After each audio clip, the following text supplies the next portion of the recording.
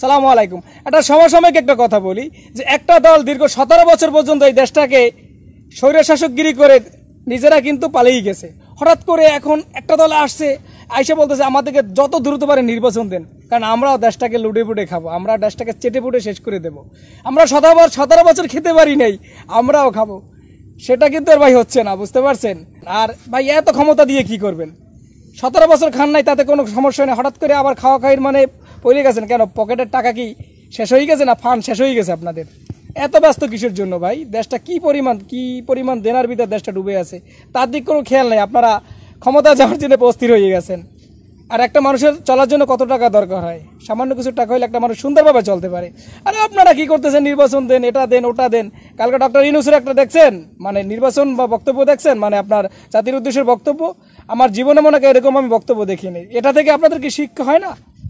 বুঝতে পারছেন? সাবধান হন। চাটাচাড়ি করে কি করবেন? কিছু তো নিয়ে যেতে পারবেন না, সব তো থুয়ে যেতে হবে। কে খাবে?